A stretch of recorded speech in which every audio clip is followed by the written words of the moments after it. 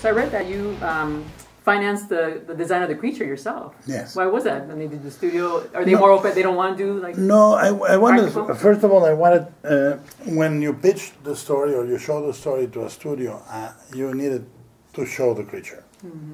Because when you say, look, they're going to get it on, you, they're going to go, what is it going to look like? You know, and then you go, hubba hubba. and they go, oh, yeah, okay, we can see that happening, you know? Mm-hmm. Well, it, many, many places, because when I was a kid, I saw Creature from the Black Lagoon at age six, and I saw sort of the beginnings of the love story there, and it ended bad for the couple. Mm-hmm. You know, they didn't end up happily ever after, and I thought, that's unfair, you know?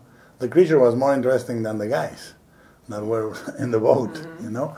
And, and, I, and I thought that, and then really the the last um, decade or so for me uh, as an immigrant, you you feel the tension in the air about division, you know, and it's, it's now very manifest, but it's been brewing for decades, really, if not more, and it's because I think. Um, right now we are forgetting about just immigration. We are in a place in our culture where hatred and fear are main parts of the discourse, you know, of every day.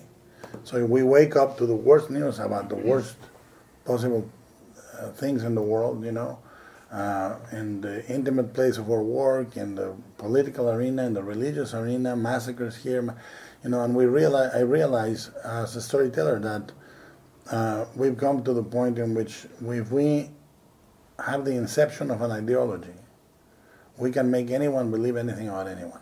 You know, like like we can, we are at a point in which we reduce people to one one word. It can be immigrant, it can be about the race, it can be about religion, and we make them invisible. And we make, them- we make them silent. And we can beat them, kill them, deport them, arrest them with complete uh, insensitivity to, to our souls, you know? That, the ideologies are the only thing that allows a human being to beat another human being.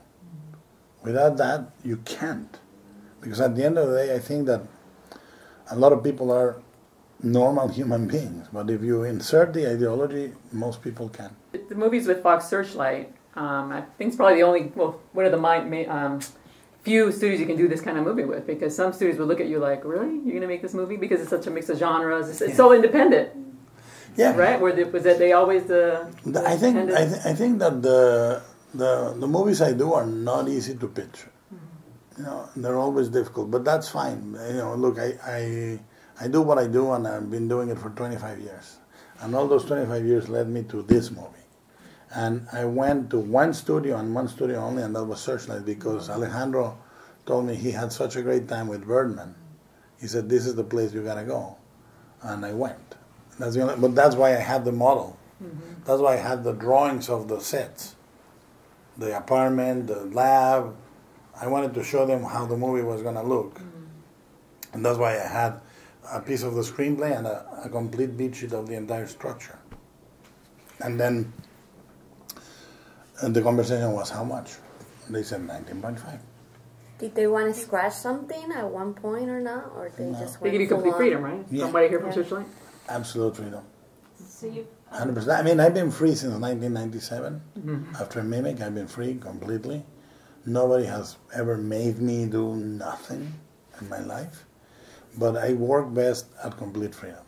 And this was complete freedom. Movies have saved my life several times in my biography. Like, really, points in which I don't know what the world is about, and a movie comes on TV, or I go to a theater and I see a movie, and I come out with tears streaming down my face, and, and I say, life is good, you know. And that, and that has not happened only with great movies. It happens with small movies, with a Mexican melodrama with Pedro Infante. It can happen with a great musical. It can happen with Brazil, Terry Gilliam. But that's cinema, not great cinema. Any cinema. You know, when I was a kid, we used to go to the theater to see what was playing. Vamos al cine a ver qué están dando.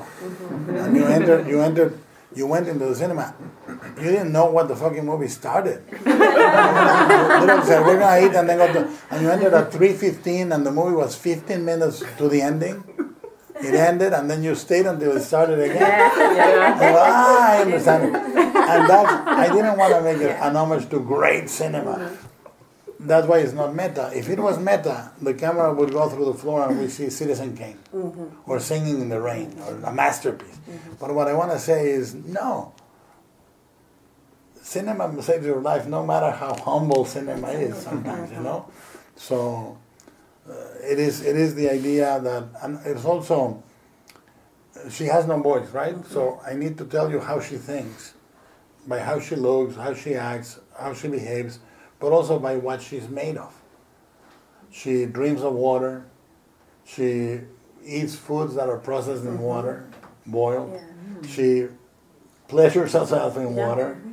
and she all day long she's listening to cinema mm-hmm. through the floorboards.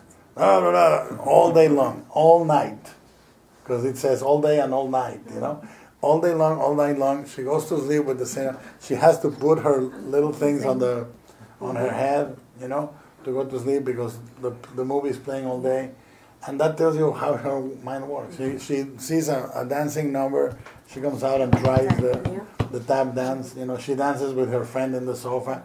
That's who she is. You know. Scratches on Elisa's neck. Gills. Yeah, that came Gills? from that came from yeah that came from Sally's uh, story. Oh. Sally was writing a story about a woman that turns into a fish, Oh, okay.